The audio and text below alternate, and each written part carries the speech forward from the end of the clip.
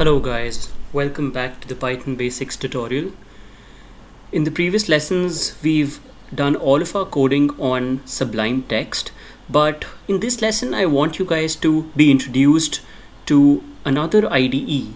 So it's an integrated development environment wherein you can code and see the output right away in blocks of code which is uh, which which is very interesting because the benefit is that you get to see the output and then debug it very easily.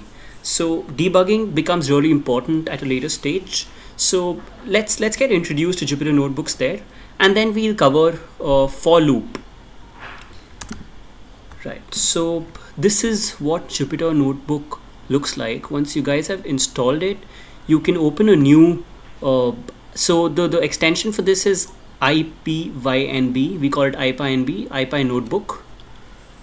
And you can name your notebook here. I'm going to call it loops in Python.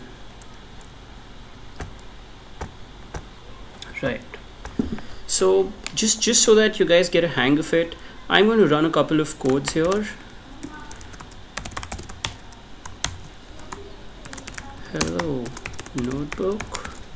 And control enter is going to print the output right here.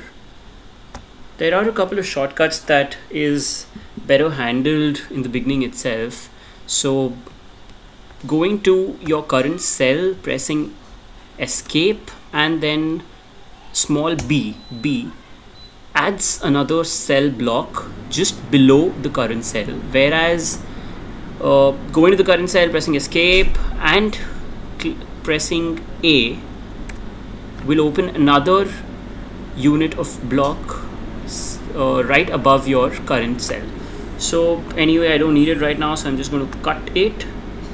But let's get started guys. So we'll start with the for loop that says so we let's let's have a list for that. So uh, my list is equal to uh, yeah. 3 4 5 6 7 8 9 10 and shift enter is going to directly run that block of code and take you to another cell. So this was shift enter for me. Now for item in my list. Okay let's quickly run through this. Now for loop is used to uh, go through each and every element of your list.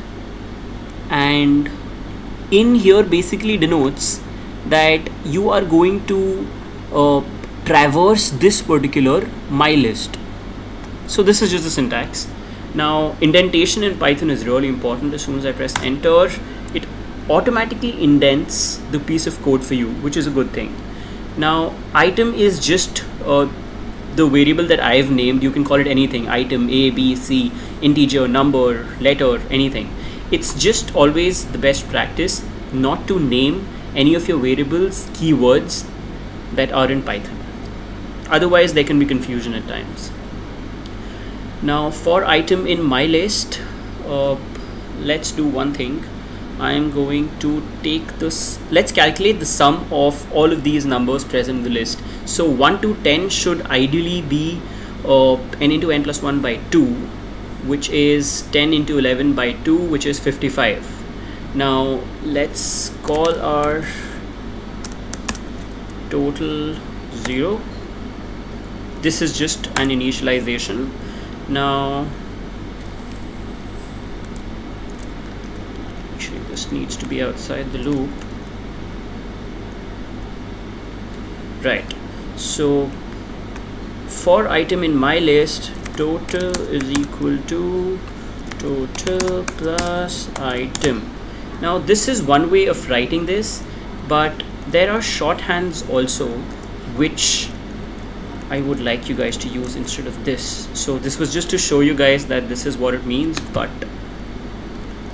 total plus equal to item so what this does is every time it goes through your list it adds the item of your list to total. Okay? Now let's print total and see what we get here.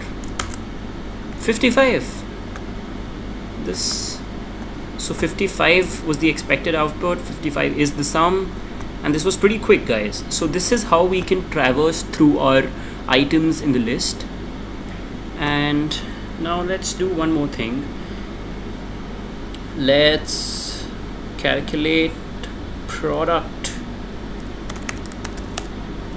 Now I cannot take product 0 in this case because if I multiply 0 with anything my end output will be 0 so I'm going to take product 1 now for uh, I can call it item again but just so you guys know that we can call it anything I'm going to call it for uh, piece in my list. Product into is equal to piece I hope you guys got why I wrote asterisk equal to and not product is equal to product into piece because that's just unnecessary writing code and well no one likes to write extra. Mm, print product. Okay. So 3,628,800 is the product of the first 10 uh, positive integers